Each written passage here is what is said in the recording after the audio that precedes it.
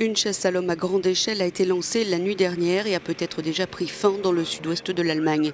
La police recherchait le ou les auteurs de deux fusillades perpétrées dans deux bar de Hanau, une ville de 90 000 habitants située à une vingtaine de kilomètres de Francfort. Au moins huit personnes ont été tuées dans ces attaques et cinq autres ont été grièvement blessées. La première attaque a eu lieu vers 22h dans le centre-ville. La cible, le bar à chicha le Midnight. Juste après les coups de feu, une dizaine selon des témoins, la police a fait savoir que le ou les auteurs auraient quitté les lieux en voiture en direction de la cour Schumacherplatz dans le quartier de Kesselstadt.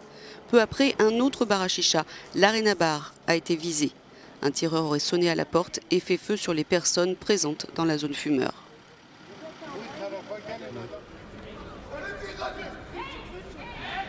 Ah La police n'a donné aucune information sur les victimes ou sur les motivations du ou des tireurs.